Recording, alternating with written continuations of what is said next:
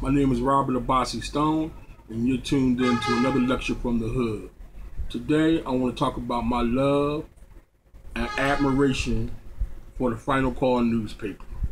Um, I love and respect these brothers who come out here and hit the street and sell the newspaper. Mainly because this is one of the of the few um, mediums that we have to express ourselves in a positive way. I love the fact that the information is global.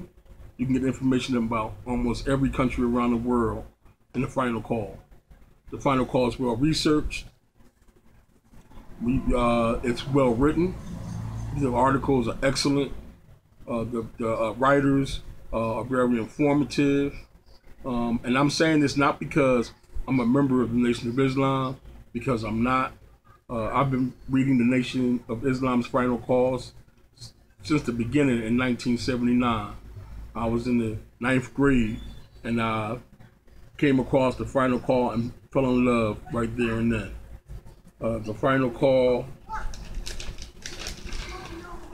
keeps you up with what's going on in the world. This final call here is a 20 year anniversary final call, 1979 to 1990 edition. Here is an article uh, in one of the final calls that talks about black men sitting down and, and dialogue.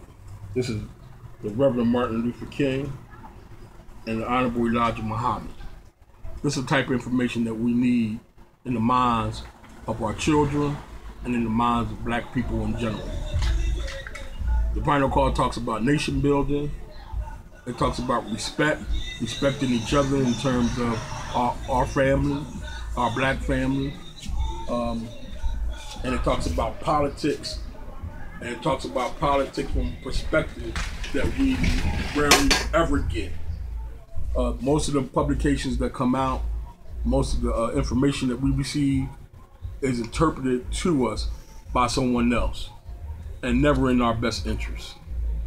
So if you run across one of my young brothers out there in the street, uh, pick up a final call and you'll be surprised.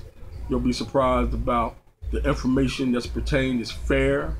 It's more fair and, and honest than the information we get every day in, in, in the papers that we read.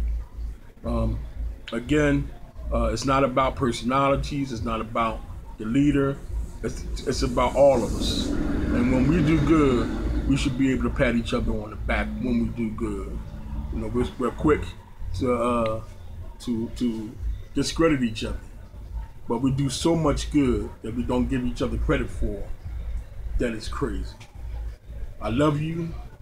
Peace, and pick up a final call, brother.